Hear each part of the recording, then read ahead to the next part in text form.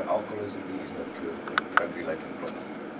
It can be managed, and it can be managed very successfully.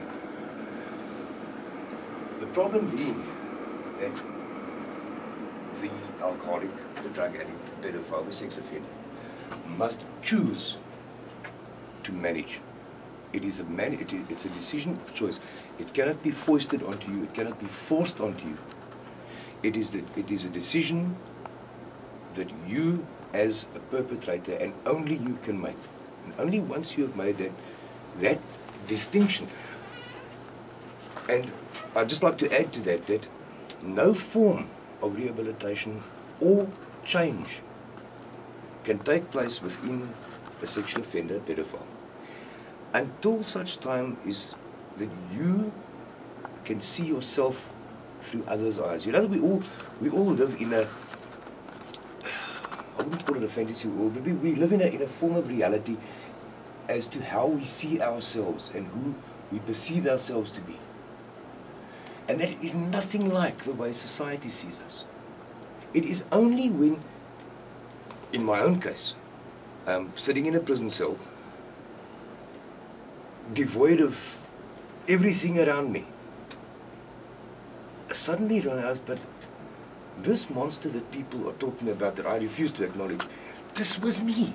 This is who I am.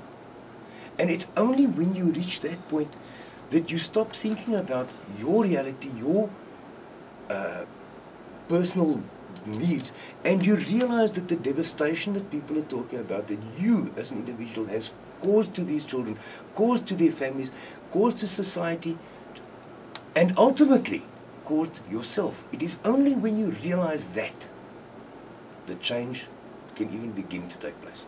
That's Lionel Squires. He's an activist today and very brave to join us in our Mommy Matters debate. I do thank you so much, really, from the bottom of my heart. Annemarie Coetzee, baie dankie ook van Childline Bloemfontein en en kinderwelsyn. Dis baie belangrike werk wat julle doen, baie moeilike werk wat julle doen. Baie dankie ook vir jou tyd. Ines Besaid nou natuurlik van die uh, Law Clinic in Bloemfontein by UFS. Baie dankie ook vir jou tyd. Ek dink ons het baie belangrike aspekte van die wetgewing en verantwoordelikheid van ouers en die reg bespreek. Sabrina Dean from our OFM News team, thank you very much for helping me put this together. It's a privilege to have a colleague that is um, keen to drive a very important debate on air.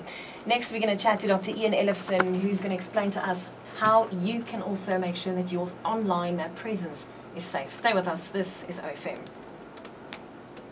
To consider. Dankie. Dankie. Wil julle vasbyt en hoor wat hy sê? Ja. Oh, ja.